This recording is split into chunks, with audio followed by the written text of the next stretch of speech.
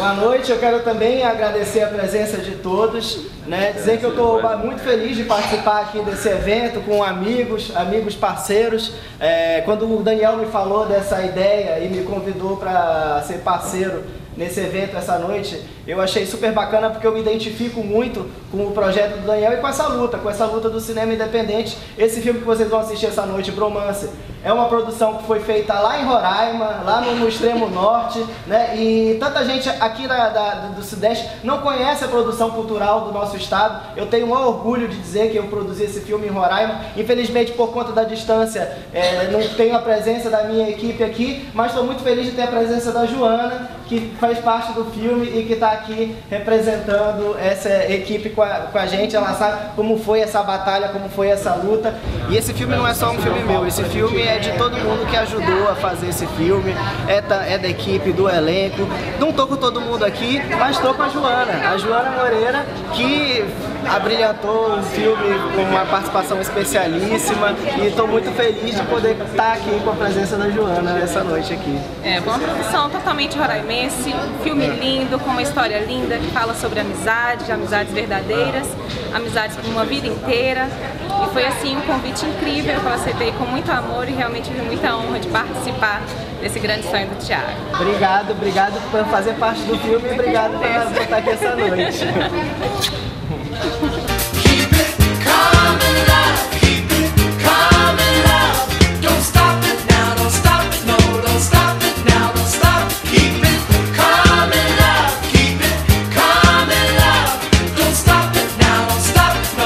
Boa noite, eu sou Pablo Bazarello, crítico do Cinepop. É, fui convidado pelo grande Daniel Gravelli, um grande amigo, para mediar o debate é, do curta Universo 88 e do longa do, do meu outro grande amigo, o Thiago Sardenberg, o Bromance, né? o primeiro longa dele, realizado lá em Roraima. Hoje aqui na, na no Cineclube do, do U, né? do, do veículo do Daniel. E vamos ver, né? Tá enchendo.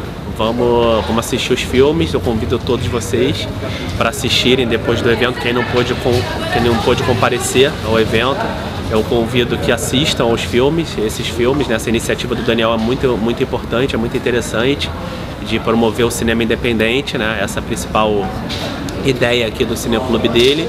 E hoje vai ser a segunda edição, todo, todo, todo mês é, vai ter uma nova edição desse Cineclube e eu convido, hoje eu, eu vou participar aqui da, do debate mediando, mas em outras ocasiões vão ter outras pessoas participando com seus filmes. Eu convido para que todos venham assistir, é, participar dessa iniciativa do, do nosso amigo Daniel Gravelli. It goes electric wavy when I turn it on Off from my city off from my home. We're flying up no ceiling when we in our zone. Então eu queria que esse amor pelo cinema tivesse o tempo todo ali é, transbordando nessa relação, porque era o ponto comum que eles tinham. É um personagem, basicamente, né? Esse amor Sim. é um personagem, é o terceiro personagem do filme, né? É o terceiro amigo ali que tem esse quase dialoga com eles diretamente que na verdade é uma homenagem a grandes amigos meus que eu fiz no cinema e continuo fazendo aqui. A gente e continuo fazendo. Eu acho que o cinema é um agregador de pessoas, de pessoas e que gera afetos. Bromance é um filme que fala sobre essas amizades que nos acompanham a vida inteira.